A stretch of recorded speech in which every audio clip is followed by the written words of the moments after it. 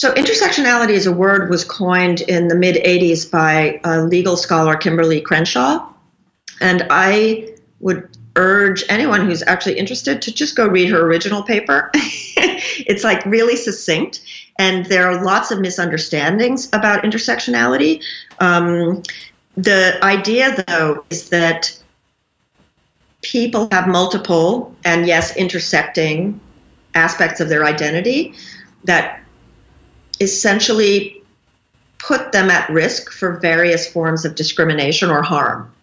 And that can change contextually, but um, it's very important to understand. So if you are a woman who is black, you don't have the choice to decide whether you're being discriminated against as a woman or as a black person.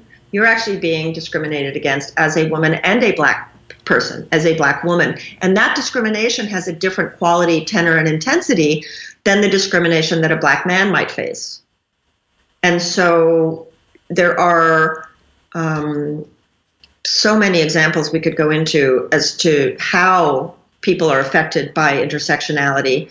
Um, but but I think it's better probably to read read her original source. It's not that long; it's very clear.